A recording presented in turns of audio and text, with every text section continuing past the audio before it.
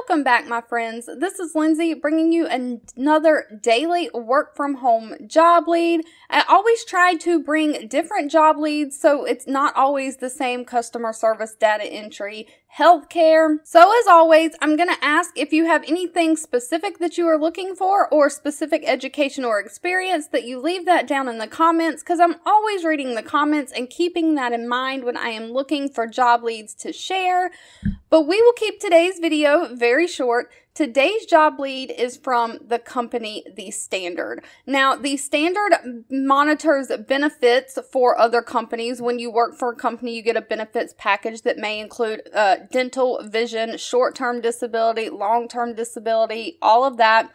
And the company The Standard manages those benefits for other companies. They are hiring a remote specialist of leave and disability. They are hiring remote within the United States. So they are specifically looking for someone to manage leave and disability claims. It says the primary duties of the job are to assist operations leadership with daily management of workflow to ensure prompt and accurate processing of short term disability and leave of absence claims. You'll monitor and take action according to the results of team performance in addition to performance of specific client accounts.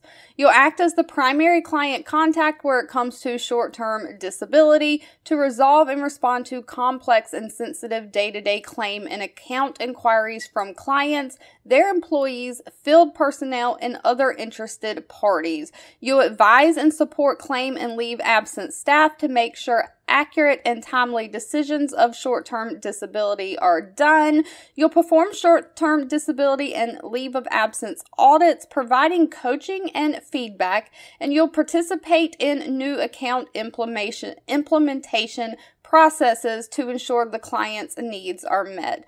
Now, they only require a high school diploma or equivalent, although they do prefer a bachelor degree, it is not required. Experience is required for this job, though, a minimum of four years' experience deciding um, on complex short term disability claims or leave cases, and two years of experience approving claims and cases for less senior employees. And it says you must be an independent and self directed worker worker. They are looking for someone to work daytime hours between 8:30 a.m. and 5 o'clock p.m. Pacific Standard Time. The pay on this, if you have the experience, ranges anywhere from $44,000 a year all the way up to $78,000 a year. So if you have experience in short-term disability HR managing leave claims, this might be an opportunity for you. Two videos will be popping up on your screen. One I picked for you and the other YouTube picked for you that you might enjoy next. Please subscribe and hit the bell icon so you never miss another work from home or money making video from me. Thank you so, so much for watching and I'll catch you in the next one.